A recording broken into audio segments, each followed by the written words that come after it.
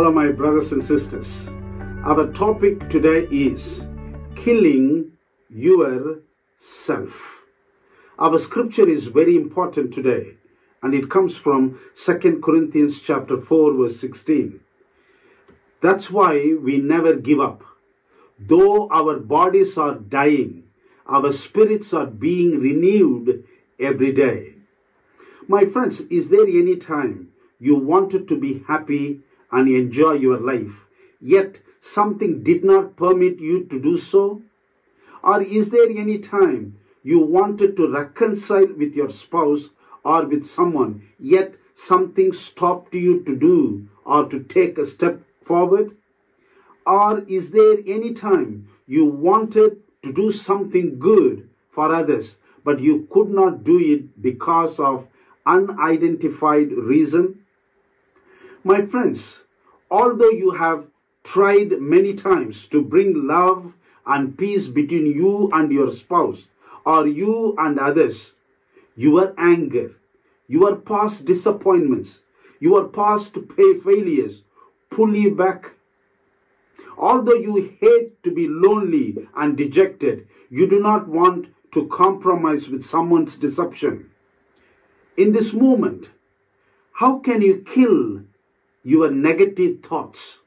Or how can you kill yourself and move forward with new perspective?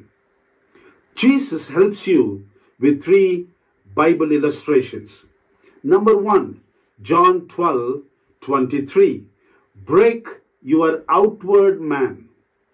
My friends, any seed that you sow should die in the soil so that it can germinate and grow as a strong tree.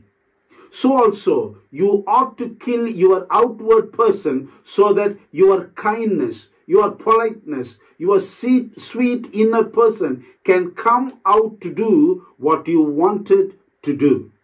It is your outward man stopping your reconciliation with your family.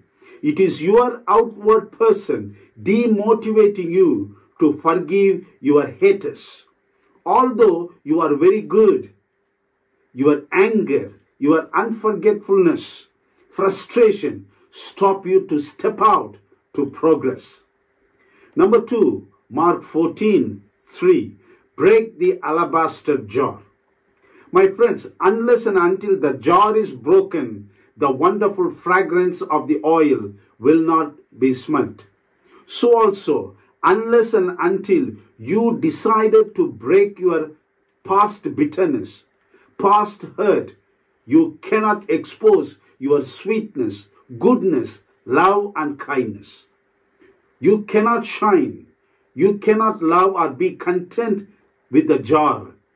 Jar is not important, but what is inside is important and significant.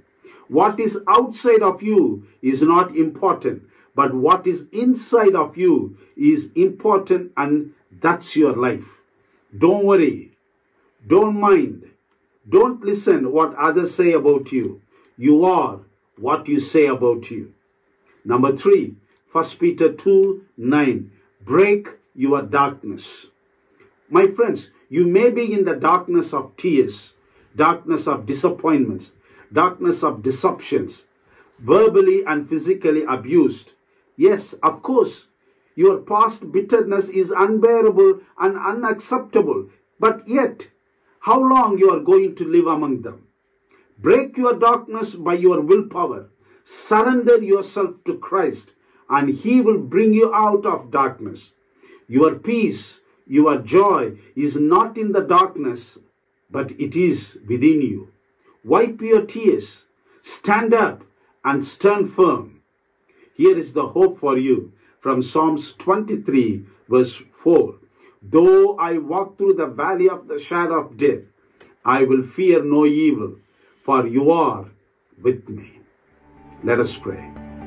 Heavenly Father, there are many times we are unable to be happy because the outward man is stopping the joy which is inside. Please, dear Lord, give us strength to break the outward person so that the inward the sweet person can be exposed. In Jesus' name we pray. Amen. God bless you.